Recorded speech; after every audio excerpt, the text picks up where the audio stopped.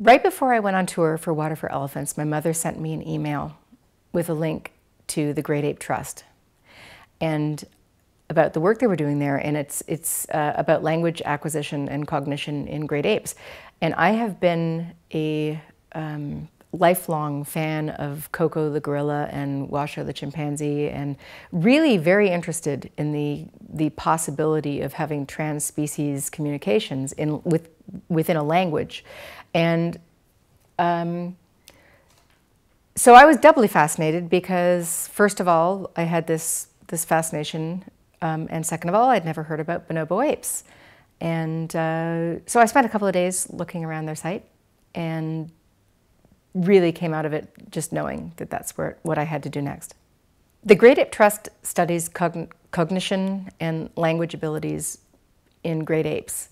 And I obviously became connected with them because I saw that initial email and got interested and then I needed their help in order to research this book.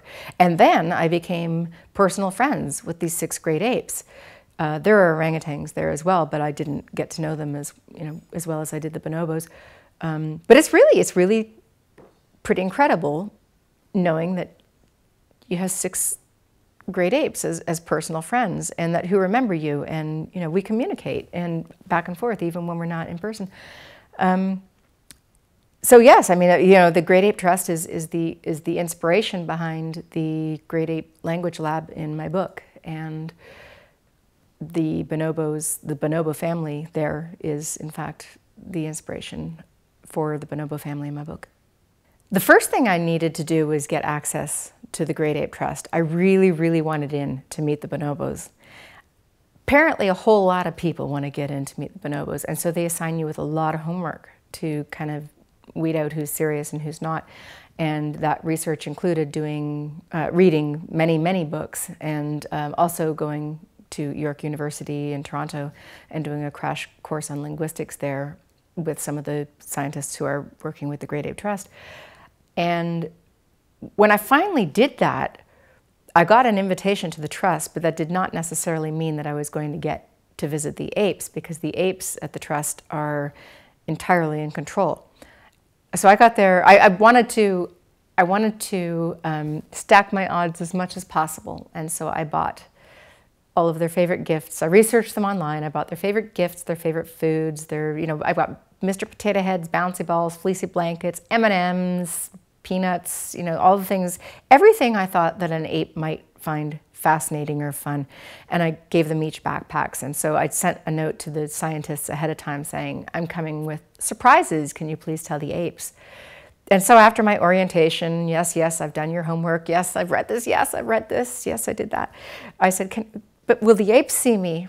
And they went off and consulted with the apes and said, oh, yes, not only will they see you, they're insisting on seeing you. And so I got to spend the afternoon with them. That was the first visit. And it was really, you know, I don't know if I could have done this book without it because you, it's, it's really interesting to read about apes who are using human language, and it's an entirely other thing to experience it and actually have a two-way conversation with a great ape. And so I stayed there all afternoon basically until the scientists had to go home for dinner and uh, they had to drag me out and and the bonobos were you know no no you have to come out to the play yard and meet our mother. And it was really by then we'd just we'd broken all the ice and it was just a really open conversation. And the day after I left Pam one of the um, she's actually one of the Shire apes there but she and I really clicked. She said to the scientists where's Sara? Build her nest. When's she coming back and so obviously I had to send them a Fruit of the Month club so they'd remember me and, and still want me to come back. And so I've, I've been visiting regularly and I've, I've got two more visits coming up in the, in the near future so I can go back and see them. But it's, it's uh, speaking with a great ape in your own language is just amazing. I just don't have any other word for it. The bonobos at the Great Ape Trust use a series of lexigrams, which are pictorial representations of words, um, they use them both on a computer. If they're using a computer, then the computer has a synthesized human voice that says the word.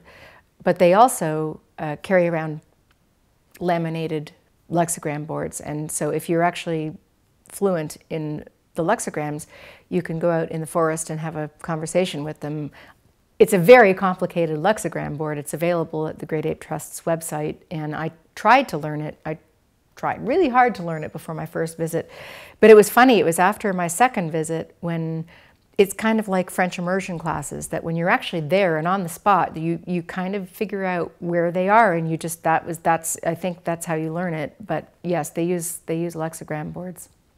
I had bought the Fruit of the Month Club. So they, I was not a stranger at that point, and so they were looking forward to my visit. They knew I was bringing them presents, and um, and it was a huge deal for them. They, they'd been talking about it for a week, and it was, you know, so Panbanisha knew that the book is dedicated to her. And so she was getting um, sort of star treatment. And when she heard I was getting my makeup done before the photo shoot, she wanted her makeup done. And so she got, you know, lipstick and powder and got her makeup done. And then she invited me out to a tea party in the forest. And she spread out the blanket, she set out the cookies, she made the tea. She has her own kitchen at the Great Ape Trust. She chose blackberry for her and Earl Grey for me. And we sat out there in the forest drinking tea. She, she, you know, she said, would you like milk with your tea? And I said, yes, please. And then I gave it back to her and she went, glug. It was this crazy sort of human ape thing, you know. And then she, she told me which cookies to eat first and which ones I should dip in the tea. And then she said, are you finished with your cookies? And I handed her my plate. She went, tipped them And it, it, so she was, it was apparently Tuesdays are diet days. And I was there on a Tuesday. So she was just taking advantage of this. I think the most surprising thing was just how competent these apes are in language. I was not expecting them to use tenses.